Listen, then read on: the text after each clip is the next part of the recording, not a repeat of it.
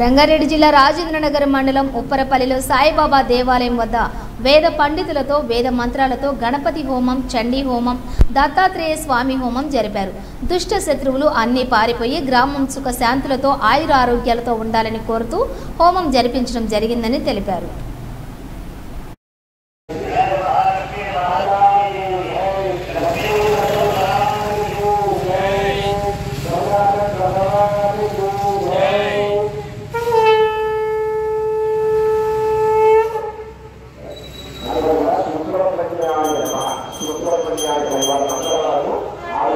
ఇచ్చేవాడు